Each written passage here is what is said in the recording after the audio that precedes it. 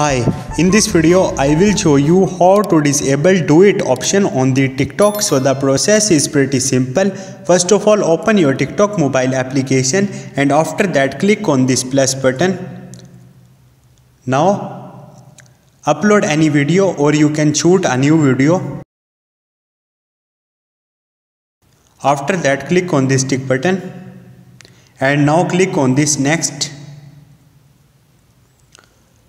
after that you will see screen like this. You will see this option. You have to turn off this toggle. Once you will turn off it now your duet option is disabled on this video. Hope this video will helpful for you. See you next time. Thank